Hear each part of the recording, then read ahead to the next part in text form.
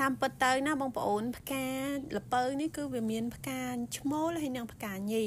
ហើយចំណែកឯផ្កាឈ្មោលគឺវាមានរូបរាងបែបនេះឯងនេះគឺវាអត់មានក្តាប់ទេបងប្អូនវាគឺជាផ្កាបែបហ្នឹងឯងសម្រាប់ផ្កាឈ្មោលនឹងដែរគឺវាគ្រាន់តែចេញផ្កាមកដើម្បីឲ្យមានលំអង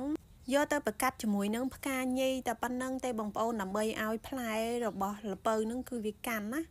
ចំណែកឯនេះគឺជាផ្កាញីប៉ុន្តែវាអត់ទាន់រិចទេបងប្អូនផ្កាញីគឺវាមាននៅជាមួយក្តឹបមកអញ្ចឹងតែហ្មងហ្នឹងគេហៅថាផ្កាញីតែនេះវានៅកំពុំវាអត់ទាន់រិចទេហើយនៅពេលដែលផ្កាញីនឹងរិចចាស់បងប្អូនបើសិនបើវាអត់ប៉ះលំអងគ្នាជាមួយនឹងលំអងផ្កាឈ្មោលទេ គឺវាអត់អាចបង្កកំណើតបានទេអញ្ចឹងហើយក្តឹបនឹងអាចនឹងរលួយវាអត់កាន់ណា ប៉ុន្តែបើមានឃុំមានកន្លងដែលជាភ្នាក់ងារដំណើរលំអងវាយកលំអងឈ្មោលមកប៉ះជាមួយនឹងលំអងញីបងប្អូន ពេលហ្នឹងទៅលពៅអាចកាន់ក្តឹបទៅជាផ្លែបែបនេះបានណាបងប្អូន